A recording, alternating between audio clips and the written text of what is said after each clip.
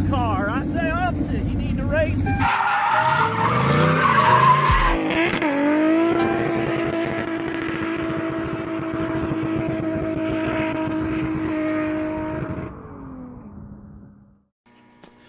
What is up, everybody? Welcome back to another episode of Fabtown. Today, I'm going to be tackling some tasks on the More Skids 240. I've already went ahead and did some things. I'll insert some clips of me adding the crossbar in now.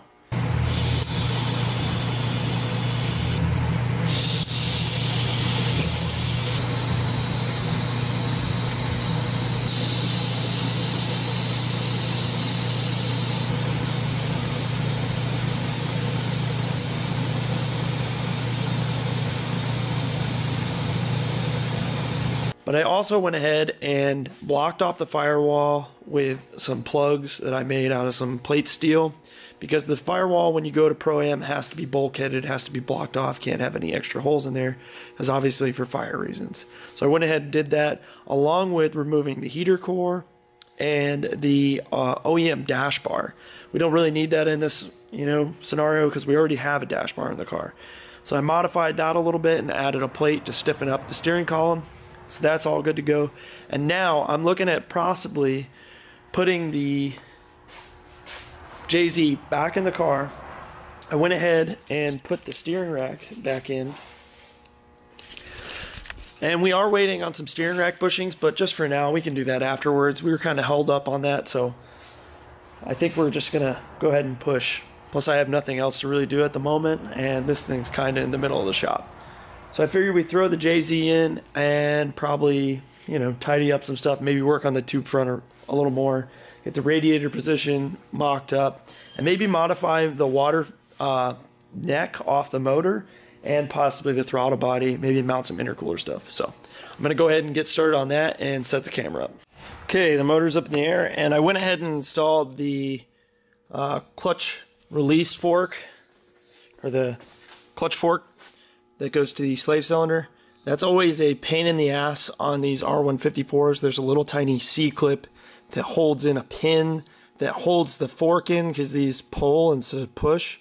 It's just a real pain in the ass, but thankfully that's all done. I was able to maneuver my grubby little mitts in there to pop that C-clip in. Now I am pretty much ready to go ahead and put the motor back in. I have to grab the motor mounts out of the trunk and then slide her in. And then once it's in there, oh, I also went ahead and put the starter back on while it was out. I figured that would be a lot easier than doing it in the car. Then once this thing is in, I want to go ahead and possibly mock up the turbo stuff along like with the what I said with the filler neck and the tube front. So I'm to go ahead and throw this sucker back in the hole.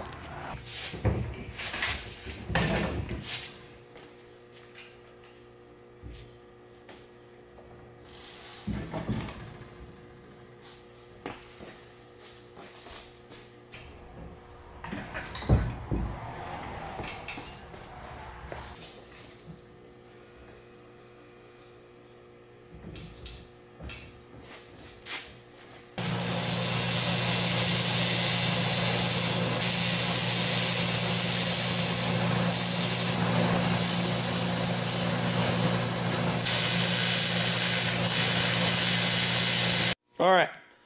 Well, as you can see, the motor is in. I uh, was fitting up this radiator because I wanted to get it positioned and everything in front of the car once I had the motor in, because that was the whole point of putting the motor in. And we used to have a tube that went from this water neck and had like a little rubber grommet and then went down and then had another rubber grommet, and that was kind of janky. So I went ahead and just cut that off, capped it, and then moved this over here and I had this nice piece of uh, radiator hose, or I guess aluminum tubing, and went ahead and welded it up, got it kind of positioned at an angle, because I wanted the radiator to be slightly back, and I didn't want to have that janky tube, and in order to get the radiator back further, I needed to make it so that it would kind of follow this notch of the VVTi solenoid and everything like that off the cam and it fits perfectly, which is awesome. And I just happen to have a hose on top of that box that fit that little section.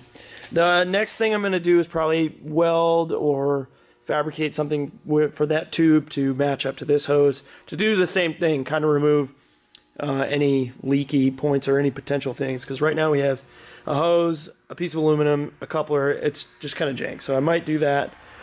Other than that, I'm pretty stoked to have the motor back in and not over there on the ground, kind of in the way. And that just means we're one step closer to getting this thing squared away. So that's pretty awesome. I don't know if I got to show you guys the X-bar, but there's the X-bar. And uh, the steering column's all welded up and everything like that. And the dash bar is out. So that's cool. I think that's going to be it for today's video. I am getting a little tired and I kind of got a good headache going, so I'm going to deuce out for uh, for now.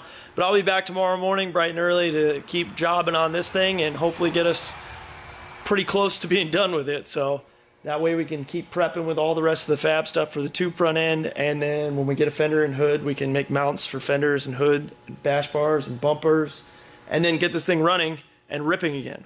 So make sure you guys stay tuned for that. And thanks for like, excuse me, thanks for liking, thanks for subscribing. Make sure to leave a comment below. Tell me how I'm doing. Thanks, guys. See you again next time. Blah, blah, blah, blah, blah.